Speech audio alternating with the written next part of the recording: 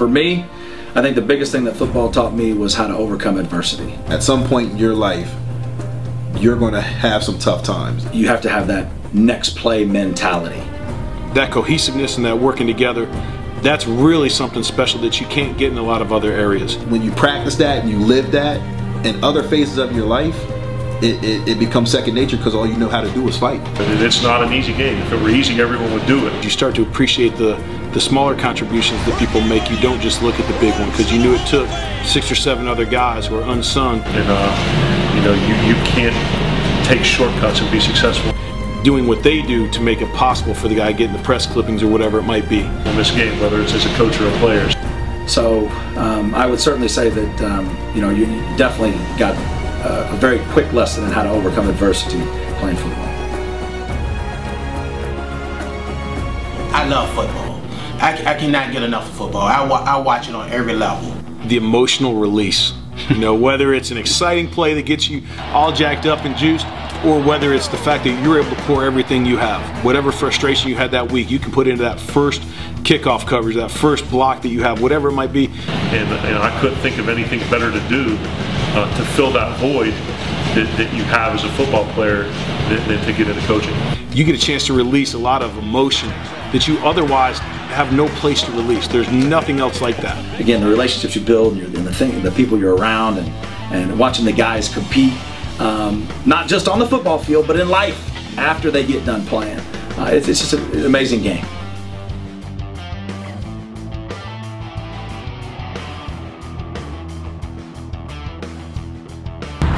Welcome to FootballGamePlan.com, where football makes sense. I'm Emory Hunt, the czar of the playbook, bring you an update from Giants Training Camp 2015, August 19th. So let's take a look at some of the sights and some of the sounds from today's practice.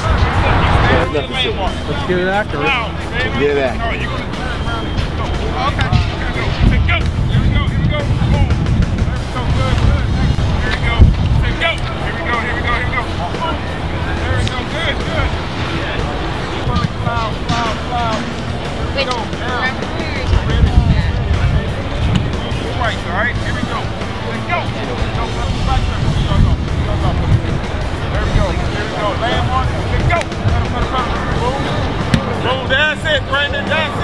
Hey, hey. two yards inside the numbers. There we go. Here we go. Say go. Here we go. Straight. Here we go. Straight. There you good. So let's go take a look. Get to him before he gets to you. Push off the run. Good.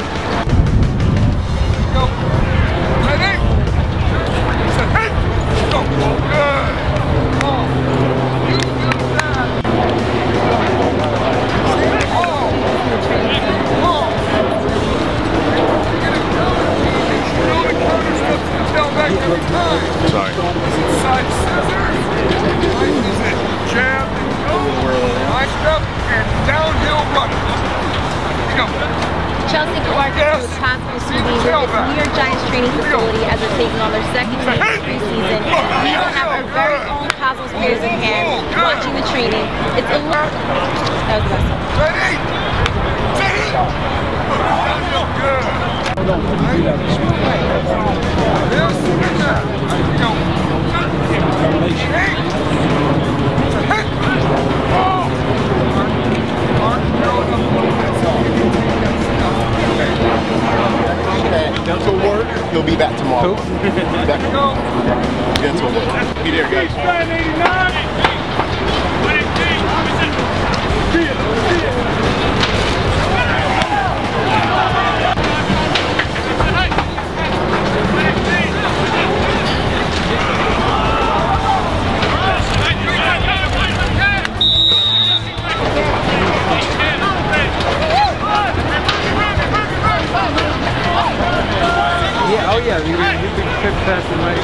be backlight. Well, we got a, we got a nice uh, rim light.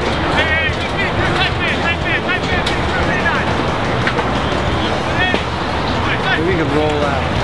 Look at that.